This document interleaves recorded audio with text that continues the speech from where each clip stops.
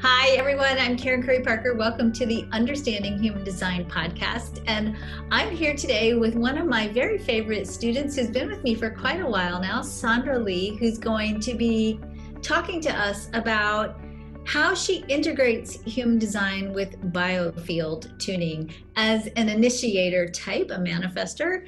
Sandra initiates people into alignment with their pure state of their essence, their preconditioned state, and brings them back into harmony with who they are. I was so excited to bring Sandra to you because I've been hearing whisperings in my student community and in my practitioner community about oh, Sandra did this thing with biofield tuning, and now I'm like back to the moment when I was born and I'm totally clear. So I thought I really need to tap into this and see what is this biofield tuning? What is she doing? And uh, can it help me lose my quarantine pounds? so, so I don't know about that. so, Sandra, I'm so excited. Tell us about. Okay, we have to start with the basics because I'm I'm really kind of new to this. Talk to me about what is biofield tuning. Let's start there. So, at the most basic level, biofield tuning uses sound to clear blocks in your energy field. And so um, when people are in pain or they're stuck or they don't know what to do or they're overwhelmed, like all the craziness and the stress that's going on in the world right now, they can feel kind of, you know, like powerless mm. and unable to move forward. And biofield tuning is the most effective way that I have found to very quickly get people grounded in present time calm and balanced. Mm-hmm. And from that place, they're much more able to then decide what do I want and what do I do mm-hmm. about it. Um, and you know, there are lots of people who, in you know, webinars and classes and things like that, I have done very short, like two minute tunings with people.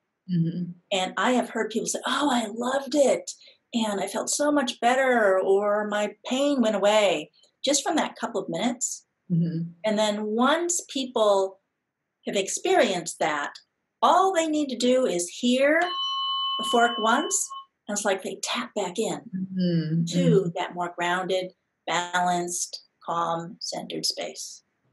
So, do you just use one fork, or do you have like a whole frequency of forks? I have three of these unweighted forks that have different different levels. So it's like that's what this one's one hand. That's what this one sounds like. And then there's this one. So it's like there's three of these. And then there's several I have that have weights on the end that you don't mm-hmm. hear as much. And so the weight travels through the stem into the body. Mm-hmm. I'm using these. So I've been you probably know, I've been a massage therapist for 28 years. Mm-hmm. And so this is what I use a lot to get energy moving through the body. Mm-hmm. What's really cool is that I'm doing these sessions like over the internet. Yeah, that was all over the place. and I use this on the body in the energy field. It affects their body wherever they are. Wow. So okay, so you're doing it your body as sort of a, or you're just doing it on like the the. I, ha- I have a silhouette on my massage table uh-huh. that, I, that I drew around a person. So I have a body shape with chakras on it, and I use my tuning forks on my silhouette and the person wherever they are feels it it's so cool that's crazy that's amazing i love that see i was gonna just i was gonna ask you next like how are you doing this online so yeah. that so cool. That is so cool. Yeah. All right. So you've been doing human design for a while too. So how are you how does this blend with human design and how are you using the two together?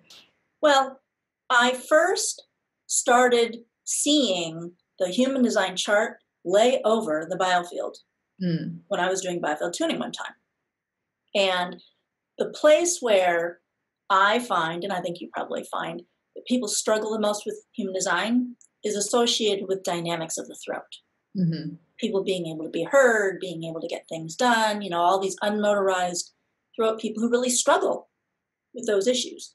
as well as, you know, being recognized and appreciated, all those throat center issues. So they show up in people's bodies and their biofields too. So when I am working with the biofield and I'm working with this issue with the throat, particularly where I see it the most is the heart center mm. connecting to the throat, people being able to express who they are, to express what they need to be heard, how they feel, all those kinds of things. Mm-hmm. Um, it shows up in the biofield. And so I often am working with that connection between the heart and the throat in mm. human design between the G and the will center, because that's the heart, you know, the heart chakra, the, the two divisions. So it's like working with that in the biofield, I'm finding affects people's ability to express themselves and get past those blocks that they have um, associated with the life that comes with the chart. Mm-hmm. Wow.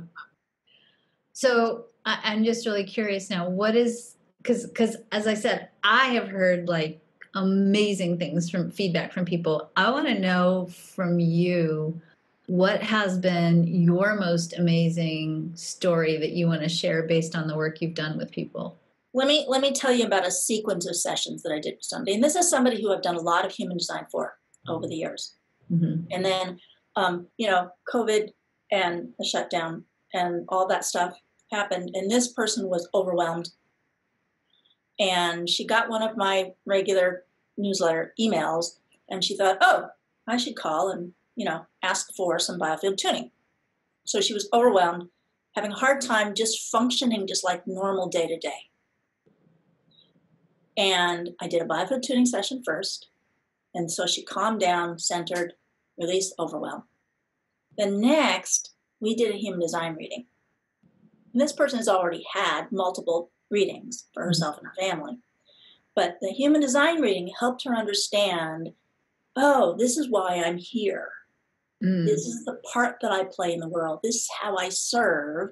And this is why these things are happening in my relationships. So it's like it puts context onto what's happening in my life. And you know, that's what happens with human design, right? You look at what the design is, what the plan is, mm-hmm. and then, oh, this is how it's showing up in my life. How do I adjust what I'm doing in my life to be more consistent with my design? And then so it's like the light bulbs go on. And man, in biofield tuning, we help the person be in alignment with it. To wow. get past the blocks that they have to living their design. Mm-hmm. It's an amazing combination. Yeah, it's as I said, I have heard nothing but massive raves about how you do this. And I'm I'm really I'm still really loving the idea of you're able to do this surrogately with a form on your massage table. That's amazing. So, you work a lot with the connections between the heart and the throat and getting the biofield in a harmony with a healthy sense of empowerment and self expression through the voice. You're getting ready to actually do some group sessions with people. Tell me a little bit about what you've got coming up. So, creating the future is a series of three group sessions mm-hmm. where people all over the world can participate in this group. And I work with a hologram that represents everybody. And in this context, I find we often wind up working on both a combination of individual things, like the things that people personally are dealing with, plus global things, sorts of traumas and issues that people have always had, so mm-hmm. archetypal types of things, plus just how we are dealing with, you know, the stresses and the things going on in the world. Because that's really, you know, hitting people pretty hard in their life purpose mm-hmm. and why am I here and how is it I'm supposed to serve when all of this stuff is going on, right? So it's like helping people see themselves and then be able to move forward in the context of whatever they have that they're doing in life. And with this particular series, these the way I do these series is I have people write down their personal intentions, their personal issues, blocks, And if they know about human design, issues they have associated with their design. Mm. It was like for projectors, really struggle with getting invitations, right? For manifestors and manifesting generators, there's like this whole issue associated with informing and, you know, all those sorts of things. Wherever people are struggling around their design, they get to write it down and send it to me. And I put it into a spreadsheet and then I look at the issues that are common for everybody hmm and work on those things in the sessions. Beautiful. So, so even though it's a group situation, people can bring their own challenges to the group, and you're going to address them collectively, but also hitting those highlights in the individual. Yes. challenges. Cool. And okay, so I got to know: Are you are you using the silhouette on the table when you do that too? I do. okay. that sounds amazing. All right. So, um, is there anything else you want people to understand about what you're doing and any last words you have for us? Um, I want to share a little bit more about biofield tuning specifically.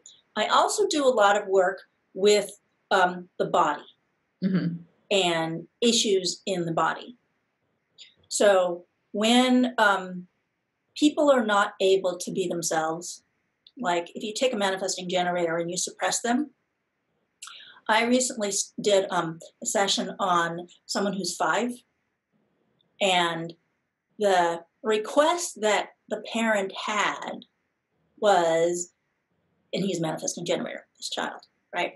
We just kind of like him to slow down a little bit like, oh, I wonder what this child's design is. And so I ran a chart and he is a manifesting generator. And so I did this tuning session on this five year old, and already I could tell that his energy centers, his chakra centers, were closing down Mm-hmm. because of even the normal level of suppression that happens as people become conditioned to living in our world right. right? You take a child who's normally just like running around manifesting generator, and the parents are going to get like, hey, sit down, be quiet once in a while, right? And a child doesn't really have a way to understand that in an adult level. And so they naturally pull their energy in and suppress themselves. I already saw that happening in the energy field. Mm. And when over time that kind of suppression happens, or not being heard, or whatever it is that the person has in their experience, it shows up in the energy field consistently, leading to symptoms down the line. Right. So it's like if somebody is never feeling like they're heard, they might manifest, you know, 40 years later, thyroid issues. Right. Stress is on the shoulders and on the back. So I wind up doing a lot of work on the physical body as well, getting the energy flowing through the body. Mm-hmm. And for me to be able to do what I want to do here, expressing myself or doing things, I need to have energetic support and grounding Mm-hmm. flowing through. And so I start every session by connecting people to grounding, to the earth. If you want, we can do a short session right now. Short session. Let's do it. Yeah.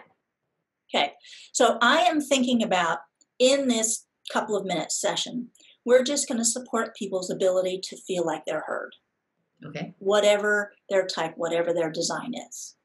Okay, so I'm going to connect us to an Earth star point, an energetic point below the feet that connects us to the Earth and bring Earth energy through the body, and then connect us to a point above the head that we call the Sun star that connects us to the Sun and to God Okay. and to bring sun and God energy in. Okay? All right. So connecting to the point below your feet that connects you to the earth.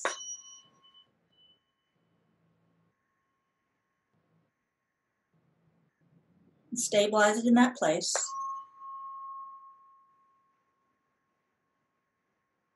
And then draw earth energy up from the earth star through your body and out the top of your head.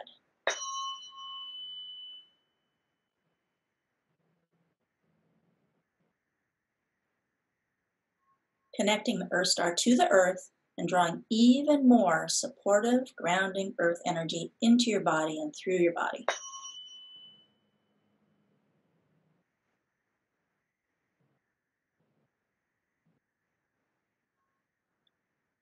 Connecting now to the point above your head that connects you to the sun and to God.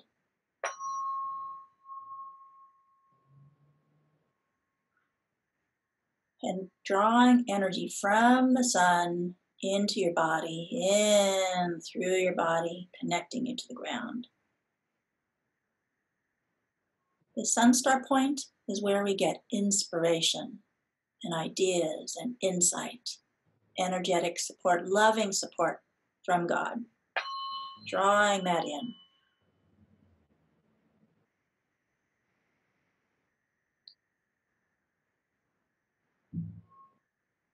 Now bring your attention to your throat, the area where you express yourself, where you get seen and heard.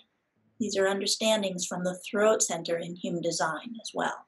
So it's like allowing the energy to flow through your throat, connecting your heart center, your G and ego's will center in human design, connecting it to the throat so that who you are can be heard and seen and recognized and appreciated.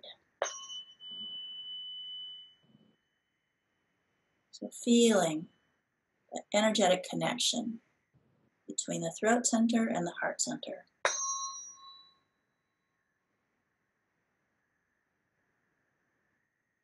And drawing support from the earth for your expression and being heard drawing support from the sun and from God for being heard and seen and appreciated. Feeling those supportive earth energies and sun energies flowing through your body.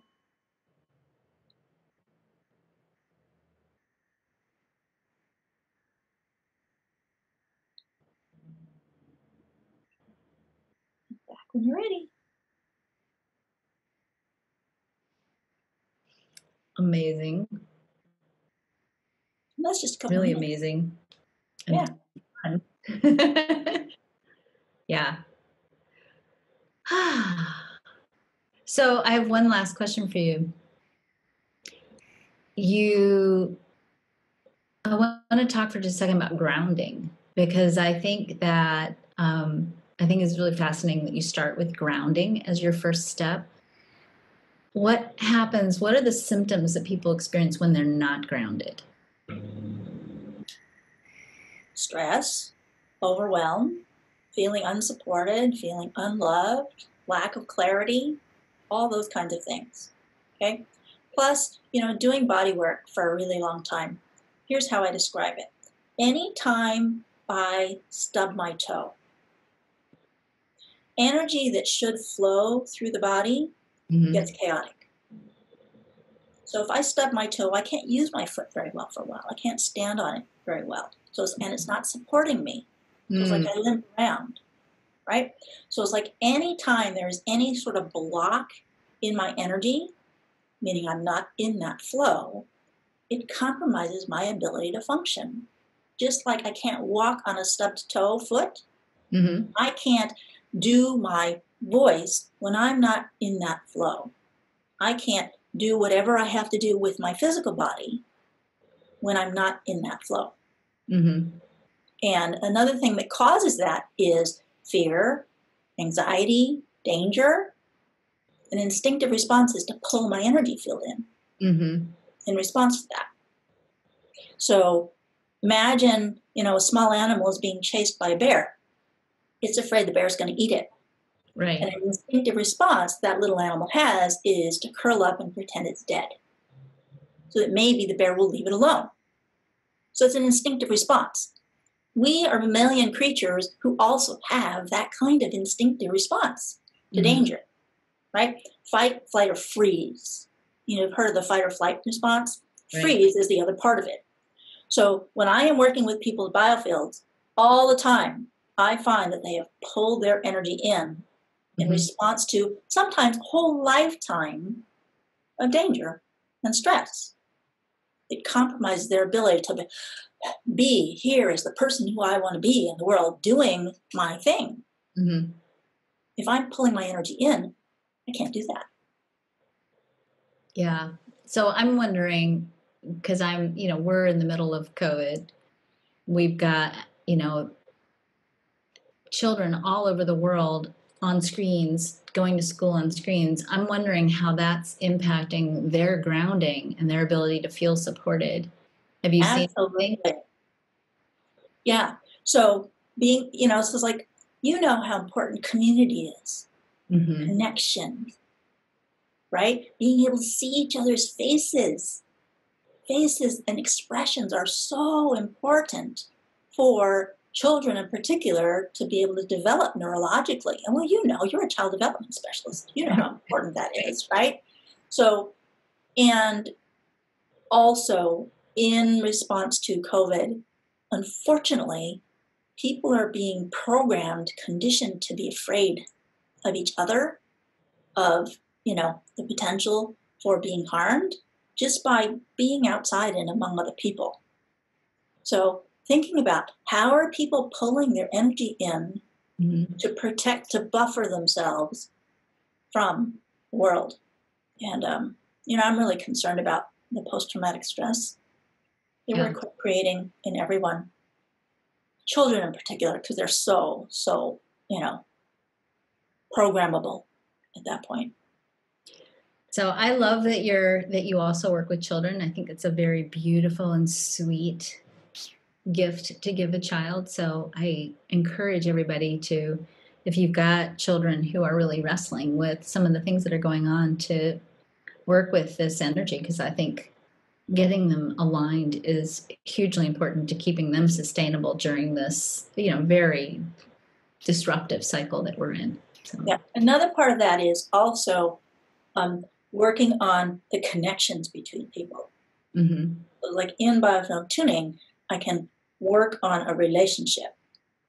So for a small child, for example, having them, you know, be aware of energetically and holding on to the connection with the parent that is the mm. stability they rely on. Because without it, they're even more afraid. Totally, totally. Yeah, absolutely. Absolutely. Well, cool. So your program starts October 31st. Registration mm-hmm. closes October 30th, but I'm assuming that uh, you want people to get in there as quickly as possible because you can only hold so many people in a room. So, how can people connect with you, Sandra? There is a landing page on my website for mm-hmm. creating future, and it's miracleinspirations.com forward slash tuning. All right, so Miracle Inspirations with an S, miracleinspirations.com forward slash tuning and go there to learn more information about Sandra's Creating the Future program so that you can sit there and just let yourself be dinged and donged and moved away with all the ma- magical, powerful uh, sounds and energy transformations that she creates. And uh, you should also, if you haven't done so yet, contact Sandra and talk about your chart and what you need to do to really activate your heart and your throat so you can be in alignment with who you really are. And Sandra, thank you. I'm so excited because I I've been so curious for so long, and you know I'm in my little human design hole, and it's really it's fun to hear all the different permutations um, of everything that everybody, all the specialists and all of these are doing. I, I, have to just end with this because I think uh, this really has struck me today because I've done a couple of interviews today and I'm blown away by how in a way human design is kind of like a muse. It's like it it trickles down to all of my students but nobody's like doing it the way that i taught. Everybody's going oh which is good. I'm not complaining about that at all. That's how i think it's supposed to be frankly. But i love to hear all the permutations and all the different ways the human design as a system is sort of saying, ah, I think I'm going to go express myself through Sandra over here with biofield tuning. And I think I'm going to go over here and do it with intuition. And it's just so beautiful to see it all unfold. And I was saying to someone earlier, it's just really exciting. The last two years, there's been such a snowball of momentum about people really being courageous and powerful in interpreting this the way that works for them in alignment with what they do. So thank you for being a pioneer. Yes. Uh, well, and it also helps that you are assisting in the evolution. Thank you. that that's that's an honor. That's how I like to serve. So I appreciate that. Thank you. Yeah, because there are aspects of human design community that have been very the same old way. And it's like, no, anything that is powerful has the ability to evolve. Well, I would say anything that is powerful has to evolve. Has to. Yeah. That, that. otherwise it won't stay powerful. So awesome. So thank you, Sandra, for joining me. You guys go check out miracleinspirations.com forward slash tuning for Sandra's Creating the Future event. Go get your future created and enjoy reconnecting with your energy and the essence of who you are. I really appreciated our conversation today. Thank you for joining me, Sandra. Thank you. Bye. Bye.